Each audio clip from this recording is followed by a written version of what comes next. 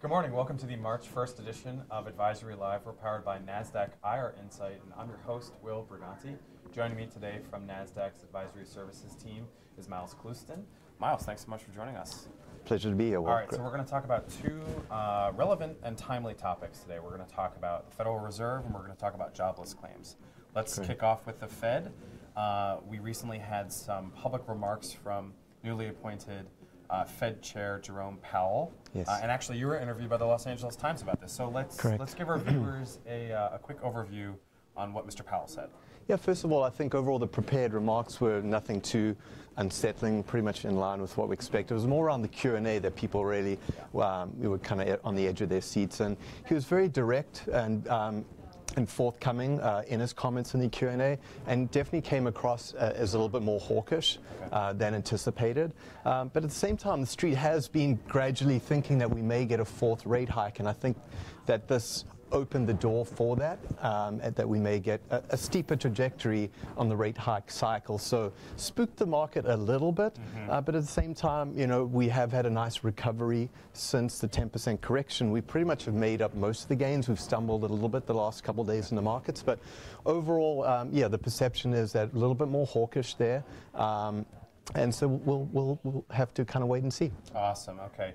Uh, is this a bit of a, a separation from what the market was used to with uh, Yellen?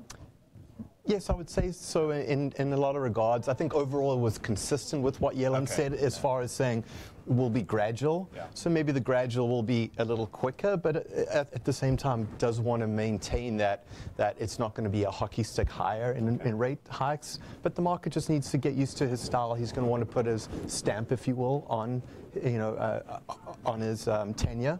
Uh, and I think overall the market will appreciate his very direct and open and honest. Just needs to be careful that every word he says will be absolutely you know taken apart. Yes, of Yeah. course. Let's move uh, over to economic data, Miles. Yes. So my last question for you is: there was some economic data that came out this morning on jobless claims. Break Correct. down. What happened? for Yeah, jobless claim number was very good today. It was a decreased 10,000 to 210,000 initial jobless claims, which was anticipated to be around 225,000. And this is actually the lowest multi-decade, I believe, since about 1969. That's so right, yeah. uh, it continues uh, at a high level to underscore that the job market is strong.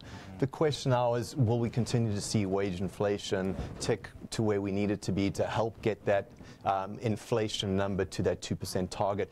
On that front, though, we did have the PCE core PCE uh, inflation data out this morning, and it came in line with expectations. So hopefully we continue to see things um, move in the right in the right direction to kind of uh, to help things along and to get to that two percent. Miles, thank you so much for breaking those topics down for us today. Pleasure, We Will. appreciate having you on. Ladies and gentlemen, this was Miles Clouston. He's a senior director at NASDAQ Advisory Services. Thank you so much for tuning in to the March 1st edition of Advisory Live. We'll be back to you next week.